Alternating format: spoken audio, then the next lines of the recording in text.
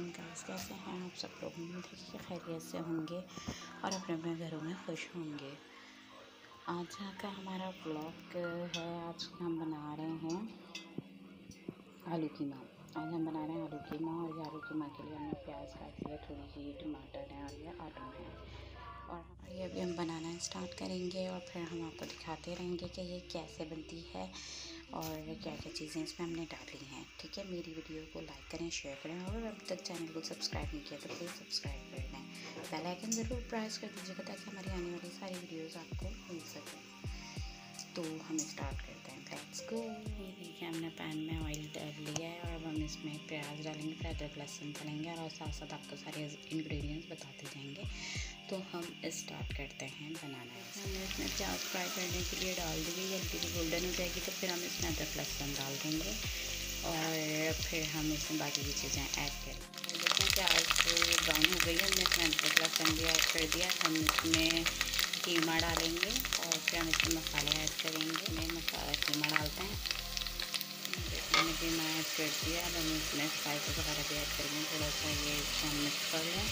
और फिर उसके बाद इसमें नमक, हल्दी किसी भी मिर्च, काली मिर्च, ये सब चीज़ें ऐड करेंगे। और हम आपको साथ साथ दिखाते भी रहेंगे कि कैसी बन रही है?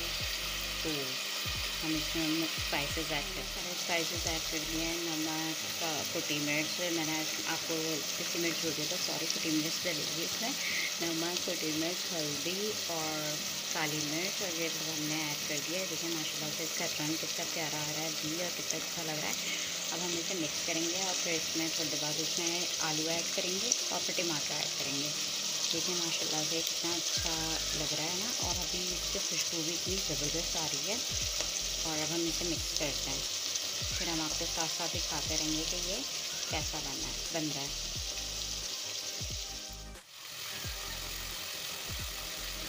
चटनी इसमें मसाले मिक्स करें, और ये अच्छा लगा मसाला का बीज का कितना मतलब अच्छा सा आ रहा है इसके अंदर। और अभी हम इसमें आलू ऐड करने वाले हैं बन आएगी क्या करेंगे इसमें।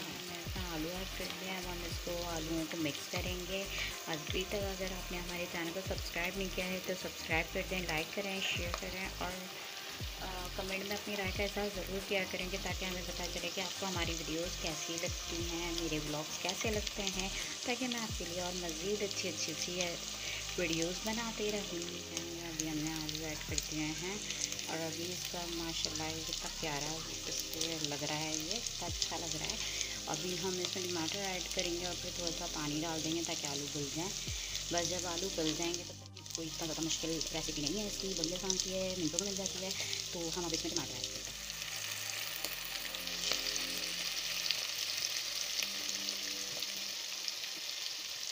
अब हम इसमें टमाटर ऐड कर चुके हैं हम इसमें डालेंगे पानी।